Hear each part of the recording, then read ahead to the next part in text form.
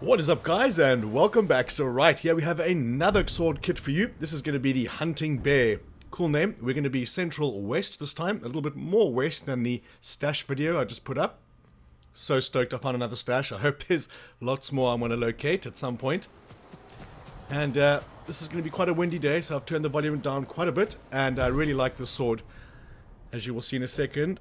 The black and the yellow is a pretty cool contrast. Also got a different uh, string attached to the end. This time it's not bulky, it's just a single string. Pretty cool, pretty cool. And I like the weaving in the handle as well.